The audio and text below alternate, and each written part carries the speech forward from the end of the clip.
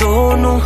ਜ਼ੁਲਫਾਂ ਨੂੰ ਆਇਆ ਕਰੇ ਬਨ ਕੇ ਲੰਮੇ ਲੰਮੇ ਝੁੰਮ ਕੇ ਨਾ ਪਾਇਆ ਕਰੇ ਕੰਨ ਤੇ